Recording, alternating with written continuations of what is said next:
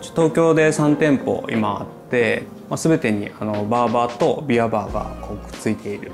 あのちょっと新しい業態のあのバーバーショップになっててブラインドバーバーっていうあの海外のバーバーがあるんですけどスピークイージーっていうあのスタイルであのバーバーの裏に隠れたバーがあるみたいなアメリカのその昔の禁酒法があった時に隠れてビールを飲むためにバーバーに通いながら終わった後に裏でちょっとビール飲むみたいな。お酒飲むみたいなバーをそこすごいかっこいいなと思ってあとはこう武骨な感じで流行り廃りない感じというかただ単にこうすごいおしゃれなカフェとかなんかそういうところだとあの普通の男性の方とかあんまりなんかそういうところに入りにくいというかでもやっぱこういう武骨な感じでちょっとこう洗練された感じだとやっぱ居心地がすごいいいしかつこうおしゃれででちょっとこう海外の雰囲気も出せるような空間っていうふうにちょっと意識してやってますね。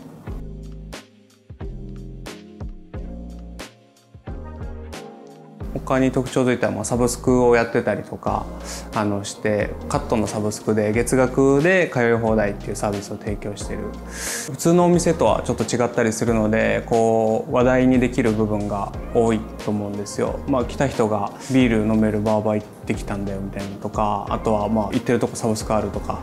まあサブスクで来る人って週1ぐらいで来るんですけど週1ぐらいで来ると周りの人からしたら髪の毛伸びてないように見えるんですよ。だからまあ1か月2か月ぐらいサブスク入ってたら周りの人からやっぱりこう髪の毛伸びてないっていうのを気づかれて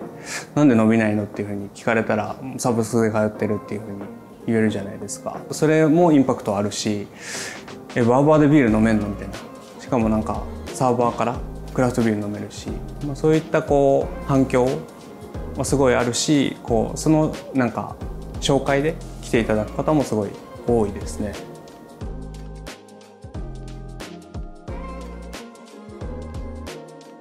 まあいい習慣を売るというかカットとかシェービングとかあの眉カットとかもそうですしカット後にビール飲むっていうのも、まあ、習慣にしたいし今結構なんかその習慣の大事さというか注目されてると思うんですよね。毎週カットすることで普段の生活が豊かになるっていうのをもうちょっとこう前面に打ち出していきたくて僕たちがやってるお客さんとかフェードのお客さんがやっぱり多くて借り上げてるお客さん多くてやっぱ伸びるのがすごい早いって感じるお客さんが多いんですよ。で0ミリからこう刈り上げて特にハイフェードとかだとすごい角が張ってきたりとかあのすぐメンテナンスが必要な状態になってくるので2週間経ったらもう結構伸びたなみたいな3週間経ったらもうちょっと原型とどめてないなみたいな感じになってくるので、まあ、それをもうベストな状態を維持するっていう意味合いでもあの僕たちとしてはその週に1回髪の毛を切って顔を剃って眉毛整えてっていうのを推奨してるというかそれをこう習慣にすることで普段こうスタイリングとかでかかるストレスが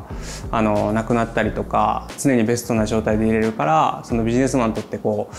髪の毛っていうのも大事だと思うんですけど、まあ、営業に行った先でだらしない髪の毛で行くことがなくなるしひげがもさもさでとか眉毛が整ってない状態でとかいうこともなくなりますし週に1回のあの楽しみとしてあの散髪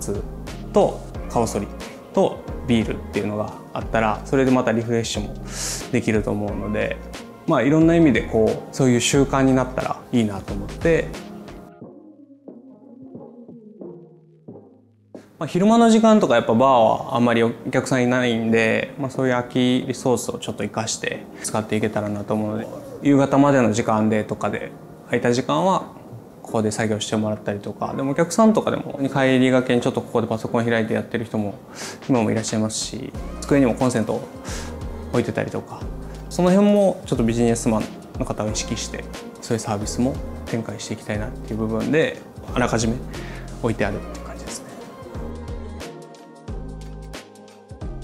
まず正直分かんなかったですけどね。それがまあ本当にそれが流行るのかどうかだって週に1回もカットしないやろって思いません？普通に。でもそこに需要があるかどうかって分かんないじゃないですかやってみないと。でまあやってる中であるなっ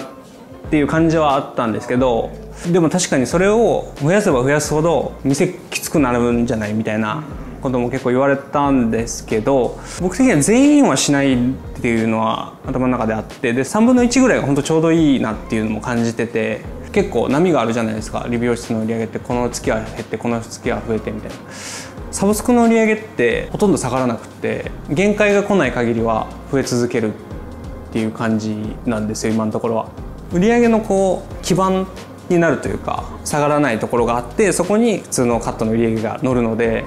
あの結構安定はしますね。一回サブスクのやつを買ってもらったらリピート率ももちろん100%ですしでずっとサブスク来てる人は今更月に1回とかなると結構きついというか定着にもつながりますしメリットとしてはそこがすごい大きいですかね。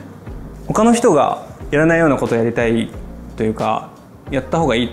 と思っていてなんか批判的なことがある方が他の人もやりたくないじゃないですかあんまり。サブスクってどうなんみたいななんか言われるんですけどやらなかったらやらなくていいと思うんでそんなんやってもみたいなところを逆に狙っていきたいなと思ってますね。もう逆に僕たちはそこを狙っていって競合がないところで戦うみたいなのは意識してますね。